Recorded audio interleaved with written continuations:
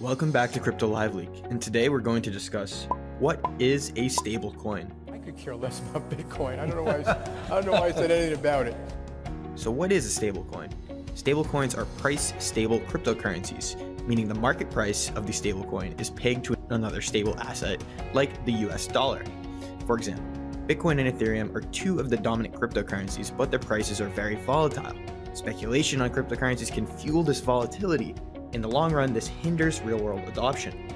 Businesses and consumers do not want to be exposed to the unnecessary currency risk when transacting in cryptocurrencies locally.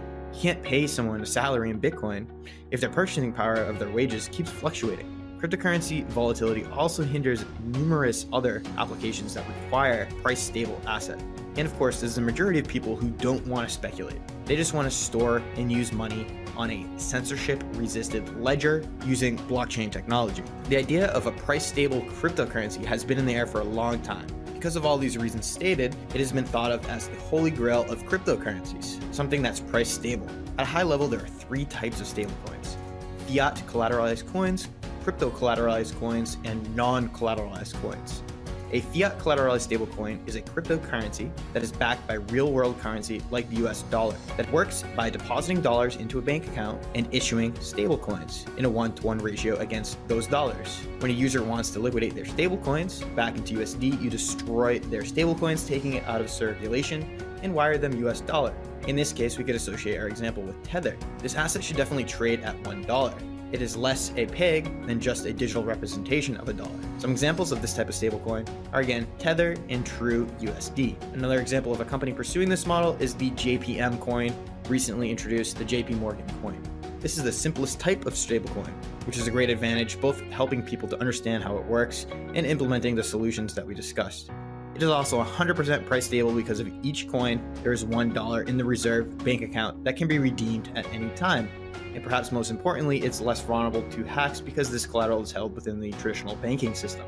Nothing is actually held on the blockchain. Fiat collateralized stablecoins are inherently centralized because they need a trusted custodian to store the real money. Otherwise, they will be vulnerable to theft. You also need to have auditors who will periodically check on the custodians and make sure their bank accounts have enough money stored in the reserves decentralization aspect of wiring back the US dollar amount if the stablecoin is redeemed can be slow and expensive as it implements the traditional banking system. Now, next, we have the idea of crypto collateralized stablecoins. They operate in the same way as fiat backed stablecoins, but are backed with reserves of another cryptocurrency, as opposed to the fiat currency like US dollar.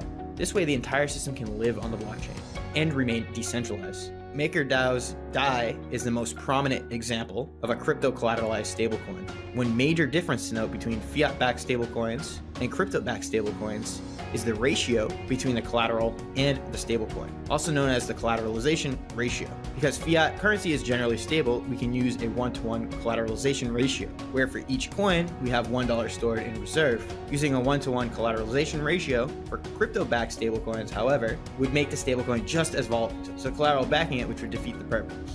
For this reason, crypto-backed stablecoins are over-collateralized, which means for every dollar of the stablecoin, there is more than one dollar of cryptocurrency in reserve. The more volatile the cryptocurrency is, the higher this ratio would have to be to ensure that even if the price drops, there will still be one dollar in reserve for every stablecoin in circulation. There are a lot of advantages to using a crypto-collateralized stablecoin.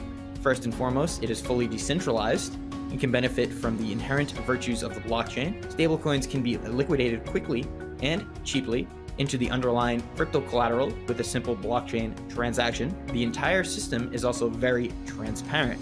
Everyone can easily inspect the history of transactions, the collateralization ratios of a particular crypto asset, and how much reserves actually exist in the system at a given time, compared to the fiat collateralized cryptocurrencies, which are inherently much more centralized and less transparent. For all they promise, however, crypto collateralized stablecoins still face some challenges having to deal with the volatility of the cryptocurrency market means that these stablecoins are not as price stable as the fiat backed coins. And can be auto liquidated during a price crash of the underlying collateral, which would essentially mean that holders of the stablecoin would lose their collateral. Accounting for this volatility means having to over collateralize, which ultimately makes for an inefficient use of capital because for every dollar you put in, you can only take out the same percentage less than that dollar. Crypto collateralized coins are also rather complex in design and have to resort to very intricate and sometimes non intuitive measures to ensure the stability, which makes their adoption more difficult. The last type of stablecoin is a non-collateralized stablecoin, and you can tell from the name, it aims to maintain stability without relying on a collateral in reserve.